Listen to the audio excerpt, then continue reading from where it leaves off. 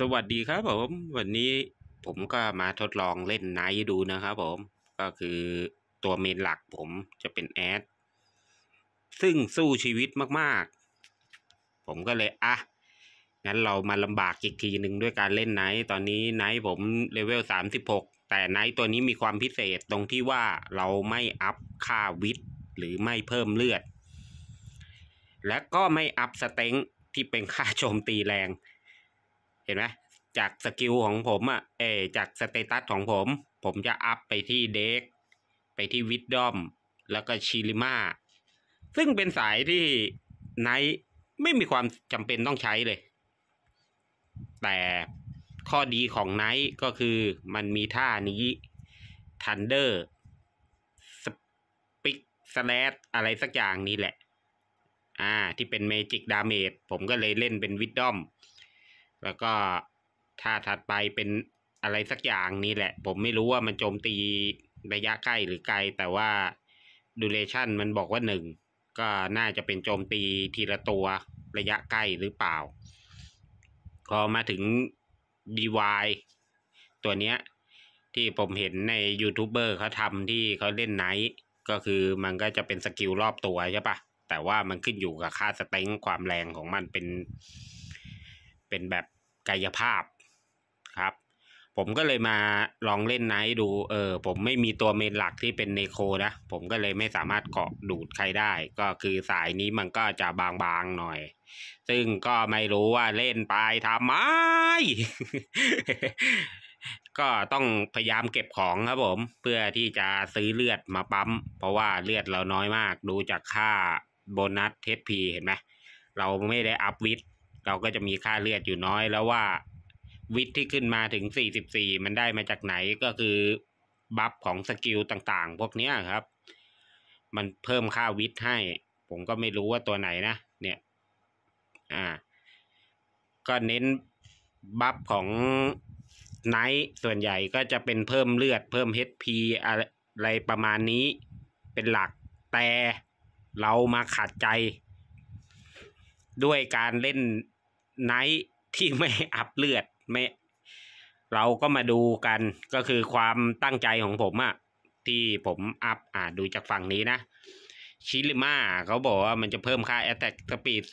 0.0หรืออะไรสักอย่างนี่แหละน้อยมาก ซึ่งค่า Attack Speed อะมันจะเริ่มต้นที่ 0.75 ใช่ปะผมอัพมาตั้ง 70 แล้วแต่ค่า Attack Speed ผมมันไม่เพิ่มขึ้น ซึ่งผมก็ไม่รู้ว่ามันเกิดอะไรขึ้น แต่ค่า e w a t ก็คือค่าหลบหลีก มันเพิ่มขึ้นมาเป็น7ส่วนแอดผมอะอัพชิลิมาประมาณ80มันก็มี e w a t อยู่ประมาณ10ซึ่งมีเด็กอยู่8เอร้อยสี่สิบเพราะว่ามันได้มาจากสกิล เพราะฉะนั้น ขออภัยครับ ก็เลยมาคิดว่า ค่าเด็ก มันต้องมีอะไรแอบแฝงอยู่แน่นอน แต่ทำไมคนก็คิดแค่ว่ามันเพิ่มค่าความแม่นยำอย่างเดียว เราก็เลยมาทำอ่าไนสายโจมตีแม่งเลย เออ จะบางจะเป็นกระดาษยังไงก็ช่าง เราเล่นเอามันครับผม ก็คือหลักๆเลยอะ่ะ ตัวเนี้ยมันจะปล่อยบอทได้ยาก ถามว่าเออมันมีสกิลระยะไกลมันปล่อยได้ง่ายหรือเปล่ามันก็ง่ายอยู่แหละครับ แต่ก็คือเรื่องด้วยความบางของตัว หรือเราต้องเก็บของเพื่อไปซื้อยามาปั๊มเนี่ย ผมซื้อทีละห้ากองตอนนี้เหลือสองกองอะไรประมาณนี้ก็คือ ก็อัตราก็โอเคดีนะ ได้ EXP เกือบครึ่งหลอด แล้วก็ใช้ยาแค่ห้ากองมันก็โอเค เท่ากับว่าสิบกองผมอัพหนึ่งเลเวล เพราะฉะนั้นมันก็ไม่มีปัญหา เพราะว่าเก็บของพวกขยะพวกเนี้ย ชิ้นหนึ่งอะเอาไปขายมันก็ได้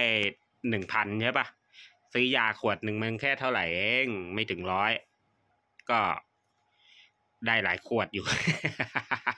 สู้ชีวิตสุดๆ เล่นในมันง่าย ๆ ไม่ได้เหรอ ไม่เป็นไร และที่ผมออกมาทำคลิปในตอนเลเวลสามสิบกว่าๆนี่ไม่ทำตั้งแต่แรก เพราะอะไร เพราะบางทีอะผมปล่อยคลิปแรกออกไปใช่ปะผมก็กลัวว่า เออ คนดูจะคิดว่า เอ้ย มันจะไปได้สักกี่น้ำอะไรเงี้ย เราก็จะตอนแรกผมตั้งใจว่าเออจะเลเวลสี่สิบห้าสิบก่อนนะเพราะผมเล่นมาวันหนึ่งละแล้วค่อยทำคลิปดีกว่า แต่ เอ๊ะ ถ้าอย่างนั้นบางทีคนดูมันก็จะขัดจิตนะว่า เออเอ้นี่มันไปเกาะดูดว่าวะอะไรเงี้ย คือมันจะเล่นไปได้ยังไง ไม่มีเลือดจะยืนไหวเหรออะไรเงี้ยก็อย่างที่เห็นนะครับ เหมือน เหมือนเราเรียกเรียกแขกอะพอง้างเห็นไหมมันจะช้า มันก็จะวิ่งวิ่งวิ่งวิ่งเข้ามาเกือบถึงตัว แต่ว่าท่าเนี้ยมันแปลกนะ คือผมเลเวลสิบกว่าๆผมก็มาทะเลทรายสิบ สิบเอ็ดสิบสองหรืออะไรเนี่ยแหละ แต่ใช้ท่านี้กับลูกอมดูพลังโจมตีมันก็อยู่ที่ประมาณสองพันถึงสามพันเนี่ยมีพันกว่า ถ้าวืดก็ติดมิดอะไรประมาณเนี้ย แต่อัตราความแรงมันก็คือพอลองมาคิดกับแอดที่ใช้มีดปลาแล้วอะแอดใช้มีดปาทีหนึ่งมันก็พันหกพันเจ็ดใช่ปะเออ มันก็ แรงดีนะ แล้วก็ทะลุไปตัวที่สองด้วย บางทีอะแถวหลังอะมีสองตัวอยู่ข้างกัน มันก็ไปถึงสามตัวได้เหมือนกันนะ อืม เอาเป็นว่าเดี๋ยว ผมจะพยายาม up Knight ตัวนี้ให้ดูทุกๆหนึ่งอาทิตย์แล้วกัน ก็คือผมก็จะต้องเข้ามาเล่นอยู่ทุกวันทุกวันอะไรเงี้ย เพื่อให้เห็นความแตกต่างว่า เอ๊ะจาก level สามสิบไปสี่สิบ up status อย่างเงี้ยคือลง DEX สองลงชิลิมาสองแล้วก็เอาไปทิ้งไว้ที่ wisdom หนึ่งไปเรื่อยๆ เปื่อยๆเงี้ย